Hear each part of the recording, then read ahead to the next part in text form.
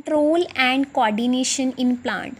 This paragraph will explain you that how plant control and coordinate toward the different stimulus. As you all know plants have no nervous system and they even do not have sense organ like eyes ears nose.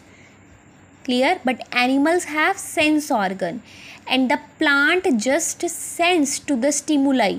Like light light is there water touch and respond them. Clear? The plant can sense things like gravity chemicals water by the action of hormones only. Clear? Hormones are the secretions. Clear? And the stimuli like gravity chemical touch these are called as environmental changes. So we can say that plants coordinate their behavior against environmental changes by using the hormones. These hormones we will study in detail in the later videos. The hormone in the plant do not act in the same way. Means they do not act in the same way as that of animals. Clear? The hormones in plant coordinate their behavior just by affecting their growth either at the shoot part or the root part.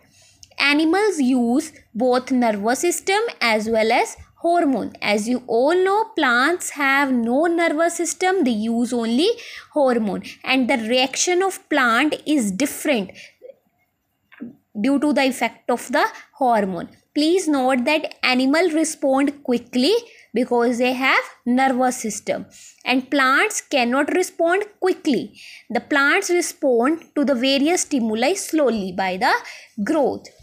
And from the above discussion, you can conclude that function of control and coordination in plant performed by chemical substance. These are known as plant hormone. Means chemical substance which are produced they are known as plant hormone. And plant hormones are also known as phytohormones.